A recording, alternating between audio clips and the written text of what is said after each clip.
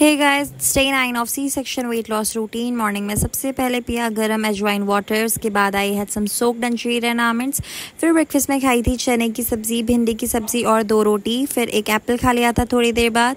फिर मेरे हस्बैंड को कुछ काम था, मेरे से रिलेटेड सरकारी ऑफ़िस में तो हम दोनों गए थे बट इतनी बारिश हो गई थी रस्ते में. वैसे एक डेढ़ घंटे के काम में तीन चार घंटे चार तो नहीं, तीन घंटे लग गए थे. वो तो अच्छा हुआ रेनबो को मम्मी ने देख लिया था तो हमें बाहर ही खाना खाना पड़ा. घर आके फिर भूख तो थी नहीं तो हमने बस ऐसी पनीर फ्राई करके फ्राई भी नहीं मतलब एयर फ्राइड करके उसमें ऑरेगन और लेमन डाल के खा लिया था। अब आप लोग सोच रहे होंगे कि डेली डेली बाहर का हो जा रहा है तो गाइज़ यही है लाइफ अब इतनी अनसर्टेन आर्मी वालों का कोई भरोसा नहीं कब क्या काम पड़ जाए।